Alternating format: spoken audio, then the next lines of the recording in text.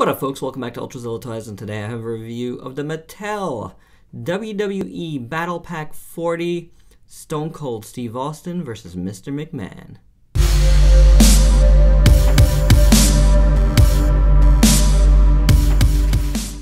It is an Ultrazilla Toys main event where we talk about some wrestling while reviewing a wrestling figure. What we're going to talk about today is, is not really about the Attitude Era or anything like that, but Raw 25 is this Monday, the 25th anniversary of Raw. It's going to be huge. Stone Cold will be there. Mr. McMahon obviously will be there. Um, so I figured this was a good little set to do this week and uh, reminisce a little bit. Love the feud way back then. Very, very cool. It'd be awesome if they did like a skit together. That would be kind of neat, you know, this week. What would you like to see from Raw 25? You know, there's so many things that can happen, so many ways that we could go. Royal Rumble is only a week away. So that is pretty awesome. Um, we'll talk about, you know, Royal Rumble more a little bit next week. So, uh, but if you want to talk about it now, feel free to comment in the comments. Talk about anything you want about wrestling. You know, I'm hoping to foster a little bit of conversation outside of the normal figures, but talk about the figures as well. So let's look at these guys. This is uh, Battle Pack 40. Um, these are basic figures that come in the battle packs. So you got Mr. McMahon and Stone, and Stone Cold here. Pick these up at uh, Ringside Collectibles during their big Black Friday sale. Really, really cheap, like under 10 bucks for the two of them. That was insane.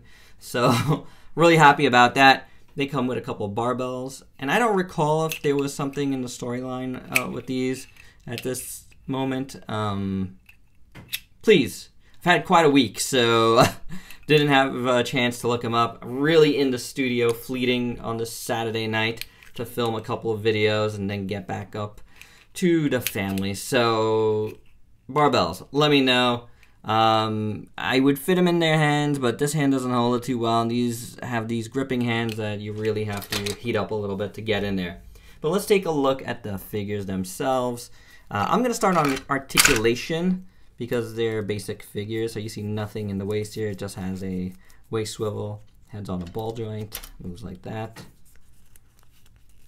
Hinge swivel for the shoulder, swivel at the bicep, single jointed elbow, hinge swivel at the wrist, just a swivel at the hip, single jointed knee, um, and Stone Cold has, uh, I thought they were hinged, but then oh, they are hinged. A little bit of a little soft plastic hinge on the the boot there. Boot cut, as I was saying there, and a hinge at the ankle. I believe Mr. McMahon will probably have all the same, but let's go over it. Head is on a ball joint. Ooh, very tight swivel shoulder there and hinge, swivel bicep, single jointed elbow, swivel hinge, waist, thigh, single jointed knee. Uh, you see, no boot cut, so it is different. There you go. And he actually can rotate his foot. How about that? Really, no, um, no real hinge there that I could notice, but he can rotate the foot. So it is a little different. So there you go. All right, you know what? Let's keep Mr. McMahon here. That's a pretty good likeness, I gotta say.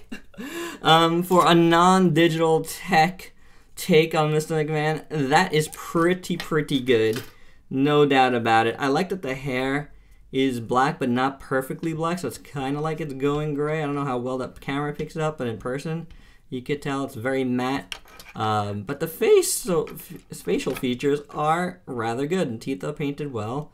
The eyes look good, the uh, eyebrows look good, and just like all the little folds and stuff in his face is perfect. The shape is very, very nice. I think they did a good job with this basic figure. So I always say that. I always like um, how they treat the basic figures. I think they come out decently.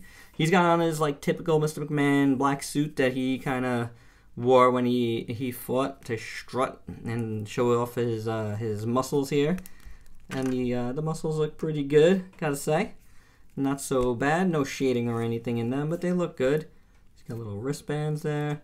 His belt is uh, painted nicely, so and the folds in his pants all look fine. So it's a decent look for Mr. McMahon altogether. Little boots look all right.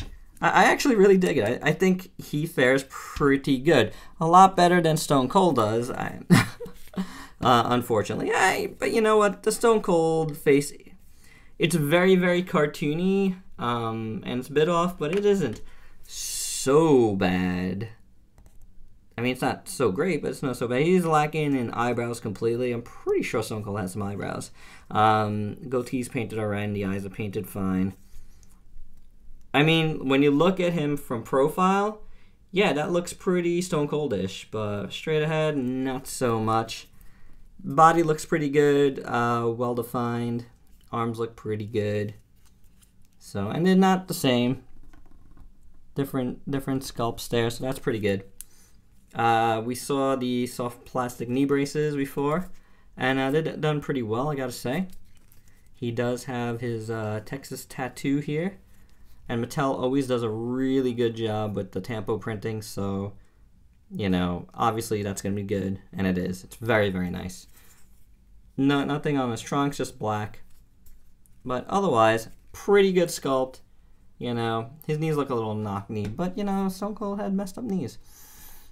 Uh, I do like that uh, Man is bigger than Stone Cold. That's that's true to life, so that's pretty good.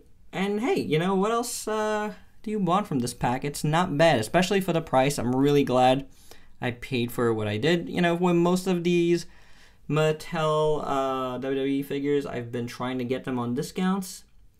Love WWE, love wrestling.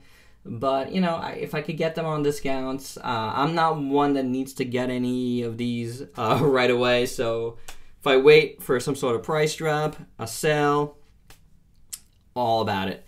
But anywho, pretty cool figures, not so bad at all. Really looking forward to Raw 25. I don't know what else is gonna happen. It could be a number of things.